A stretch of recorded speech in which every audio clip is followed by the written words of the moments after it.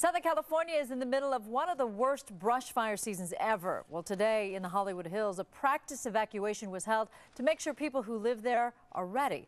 But as Leila Strogoff shows us, the practice got all too real for firefighters.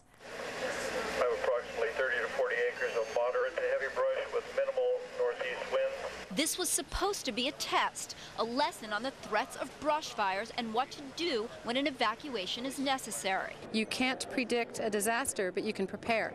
So we all want to be prepared. But what started out as a mock emergency preparedness trial turned into a reality. In fact, in the midst of Fire Chief Barry telling Fox 11 the objectives of the day, also to educate and inform the public of what to expect should we call for an evacuation. He was alerted to an actual emergency. And the people who had been part of a morning exercise by afternoon were launched into action. In the midst of the fire evacuation drill, a real fire breaks out just two blocks away. What a coincidence, neighbors say. The response time couldn't have been quicker. I mean, the fire department got here right away. Battalion Chief Craig Fry says that they were able to get to the scene in less than a minute. The normal response time, four to five.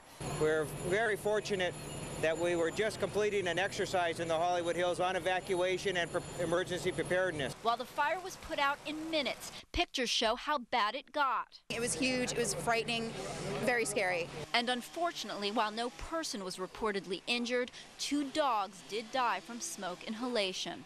An example, Chief Fry says, of why everyone needs to get educated. You need to be prepared. We've just got to be ready. In the Hollywood Hills, Delilah Strogoff, Fox 11 News.